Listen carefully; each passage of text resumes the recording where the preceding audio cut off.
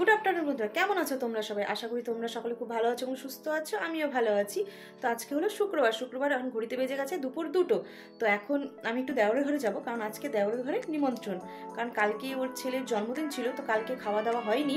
খাওয়া দাওয়া হয়নি বলব, বলাটা ভুল হবে, কারণ কালকে মিষ্টি, কেক, পায়েস এগুলো খাওয়া হয়েছে। আজকে ভাত খাওয়া হবে।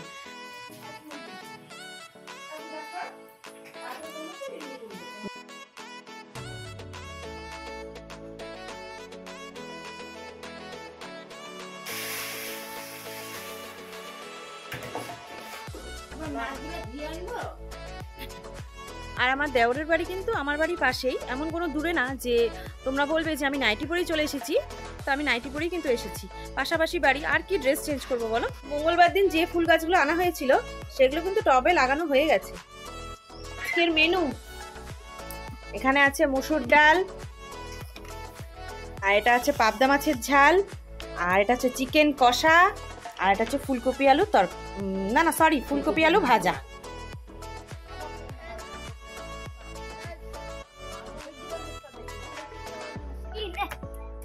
হবে না? সন্দেশ! সে গান ছাড়ছে তো। খায় না। তো আমরা খেতে বসে পড়েছি হ্যাঁ? সবাই মিলে কিন্তু আমি একা বসিনি। এই যে দেখো। ও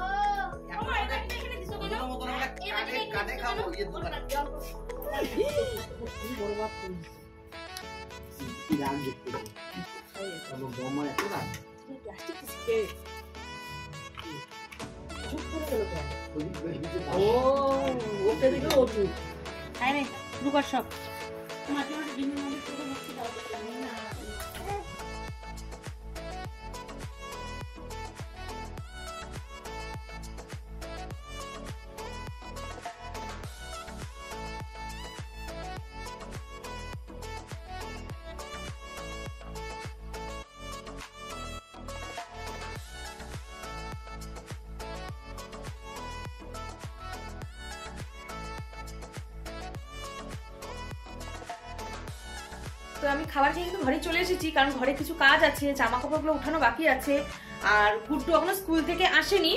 তো গুড্ডু স্কুল থেকে আসলে এখন খাবে কিনা আমি জানি না, কারণ ও তো স্কুলে টিফিন নিয়ে গেছে।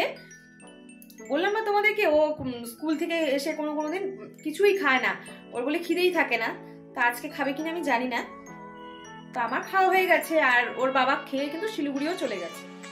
তো এখন ঘড়িতে বেজে গেছে পাঁচটা। গুড্ডু চলে এসেছে স্কুল থেকে। ও এসেই বলল কিছু খাবে না। এখন আমি তাই ওকে বললাম যে, তুই হাত মুখ ধুয়ে একটু ঘুমোতে আর কি মানে শুতে, একটু আরাম লাগবে। আর ও সোনামাদের ঘরে রাত্রেবেলা খাবে। গুড ইভিনিং বন্ধুরা। তো অনেকক্ষণ পর তোমাদের সাথে দেখা করতে এলাম আর কি। কারণ গুড্ডুর সাথে সাথে না আমিও ঘুমিয়ে পড়েছিলাম। এখন ঘড়িতে বেজে গেছে সাড়ে সাতটা।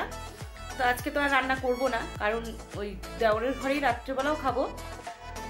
কারণ আমি শুধু খেয়েছি, আর ওর বাবা না আমি সকালে যা রান্না করেছি ওটাই দুপুরবেলা খেয়ে বেরিয়ে গেছে, ও শিলিগুড়ি গেছে, আর গুড্ডু তো খাইনি স্কুল থেকে এসে। আর আমি শুধুমাত্র দুপুরবেলা খেয়েছি, তাই রাত্রেবেলাও আজকে ওই দেওরের ঘরেই খাব। এখন বসে বসে আমি আর গুড্ডু টিভি দেখছি, এই যে আমার পাশে কিন্তু গুড্ডুও আছে। ও ঘুম থেকে উঠল এখনই। অনেক ডাকার পর ও উঠল। আমি বলছি, তুই যদি এখনই এত রাত পর্যন্ত ঘুমোস, তাহলে রাত্রেবেলা কখন ঘুমোবি?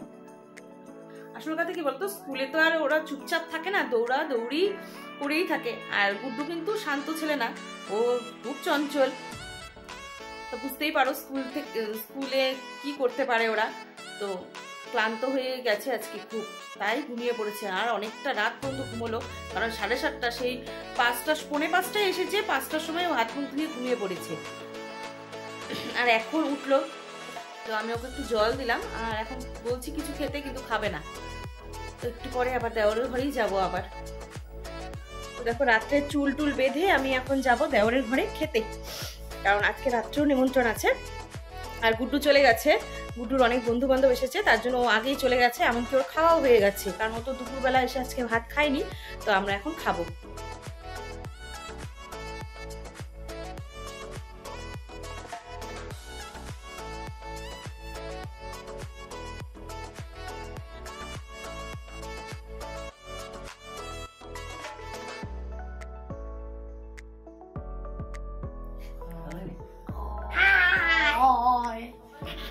তো আমার খাওয়া হয়ে গেছে, এখন আর কি ঘুমোবো।